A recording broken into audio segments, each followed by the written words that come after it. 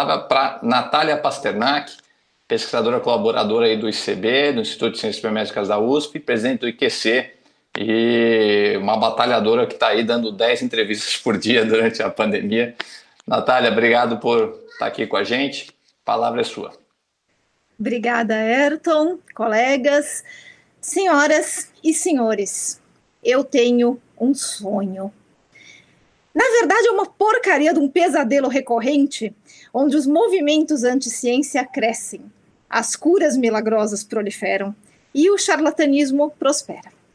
Pessoas gastam dinheiro com pensamento mágico, governos gastam dinheiro com soluções rápidas, milagrosas e, é claro, erradas. Políticos vendem demagogia médica e científica, e a linguagem da ciência é sequestrada para vender ilusões. Eu tenho a solução, eles disseram. E foram para a mídia, viraram celebridades, espalharam mentiras e conceitos científicos errados. Mas e daí?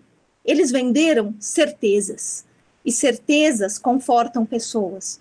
Certezas nos trazem tranquilidade, nos dizem o que fazer e podemos seguir nossa vida em paz. Certezas nos tiram toda a responsabilidade de descobrir o que é certo, o que realmente funciona. E melhor ainda, se tiver errado, a culpa não é nossa, porque nós só estamos seguindo aquele cara. E aquele cara que falou exatamente o que eu queria ouvir, ele tem pedigree, ele é cientista, ele usa jaleco branco e o nome dele começa com doutor. Às vezes, ele é até presidente de um país.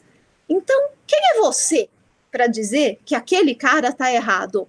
Qual é a sua agenda oculta? Quem é que está te pagando para dizer isso? Vacinas causam autismo, ele disse, há 20 anos. Mas eu tenho a solução. É a minha vacina simples para sarampo. Compra aqui. Ela já até, até já está patenteada. Veja bem, o que causa o autismo é a tríplice viral. É muita vacina de uma vez só. Usa a minha. Eu tenho a solução. E a solução é simples, é barata e é fácil. Tá certo que o problema nem existe. Eu inventei o problema, mas eu tenho a cura. E por falar em problema que não existe, que solução poderia ser melhor para um problema do que decidir que o problema não existe. A AIDS na África do Sul não é causada pelo HIV, nem precisa de cura, também não precisa de prevenção. Câncer? Nós temos a cura, e a cura é brasileira. Ou quem não lembra do fiasco da fosfetanolamina, que também era uma cura simples, rápida e barata. A pandemia não mudou o meu pesadelo.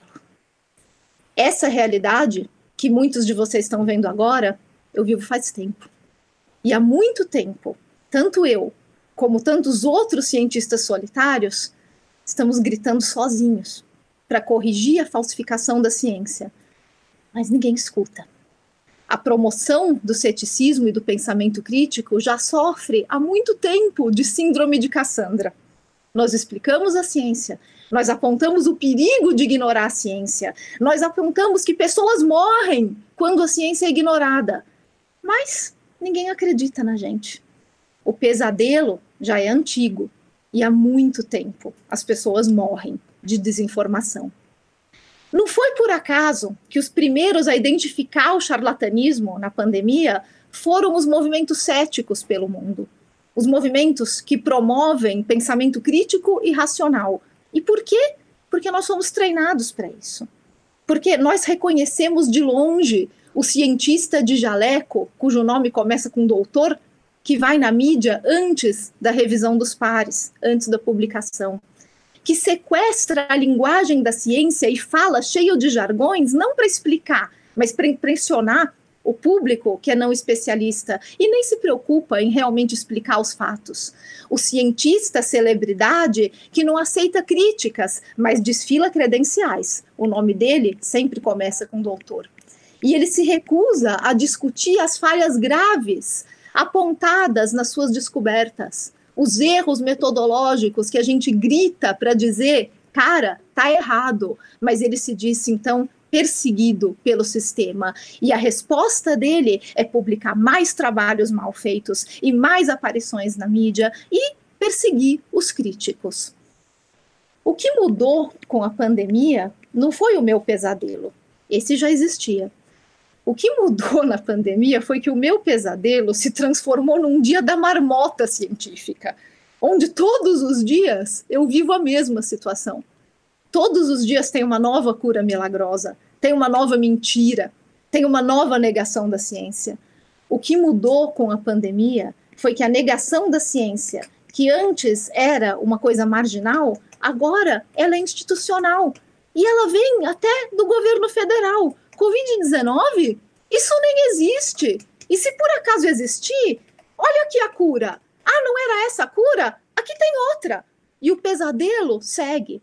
E a gente segue, tentando esvaziar um barco afundando cheio de água com uma xicrinha de café.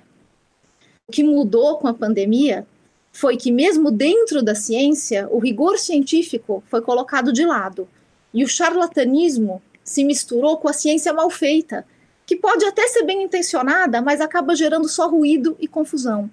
Ficou muito, mas muito mais difícil separar o que é ciência e o que não é. Ficou óbvio durante a pandemia que nós não estamos preparando bem os nossos alunos nas escolas de ciência e de medicina para entender os processos da ciência, para entender como a ciência é feita. A pandemia escancarou na nossa cara o problema da falta de compreensão dos processos da ciência. E a necessidade fingir que o problema não existe, que o brasileiro ama a ciência, que o brasileiro respeita a ciência, que o brasileiro apoia o financiamento da ciência, porque a pandemia não deixou dúvidas de que se por um lado o brasileiro quer ciência, ele também quer uma ciência que traga certezas, soluções rápidas, baratas e fáceis. E quando a ciência falha em cumprir essa expectativa, a população facilmente se volta para os falsos profetas. Mas tem uma coisa que mudou com a pandemia. O meu pesadelo, meu dia da marmota científica anti-ciência, trouxe de repente mais gente junto comigo. E o pesadelo ficou menos solitário. Porque, de repente, dentro do meu pesadelo, tem outros cientistas, tem comunicadores, tem jornalistas. Eles estão vivendo o pesadelo comigo, porque ficou grande demais para ignorar. As pessoas sempre morreram de desinformação, mas era longe. E agora, de repente, 50 mil mortos. E dentro do meu pesadelo, a gente se pergunta: quantos desses 50 mil morreram de Covid e quantos realmente morreram de, desin de desinformação. Então, para todo mundo que agora está dentro do meu pesadelo, vamos deixar que o pesadelo se transforme em repúdio, mas não em notas de repúdio. E que o repúdio vire comunicação. E que essa comunicação vire ação. Não vai ser fácil. Eu nunca disse que era fácil ser Cassandra, mas se a gente falar todos juntos, vai ser difícil ignorar. O pesadelo é nosso, mas a escolha de sair do pesadelo também. A gente nunca viu tantos cientistas defendendo a ciência. A gente nunca viu tantos jornalistas dando espaço para a ciência e pedindo ajuda para os cientistas para realmente explicar para a população o que a ciência diz. Então, vamos usar a pandemia para não desistir.